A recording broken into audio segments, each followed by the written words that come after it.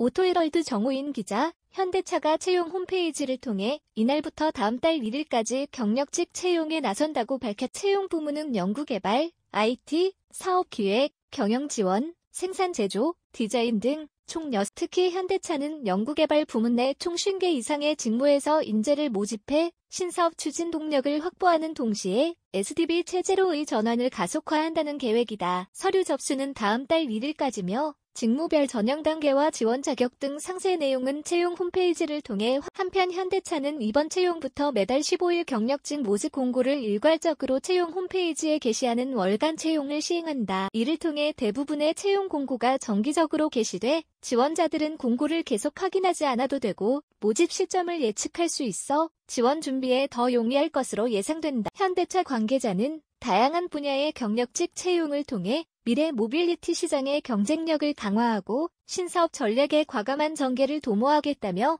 월간 채용 등 지원자 관 현대차 관계자는 다양한 분야의 경력직 채용을 통해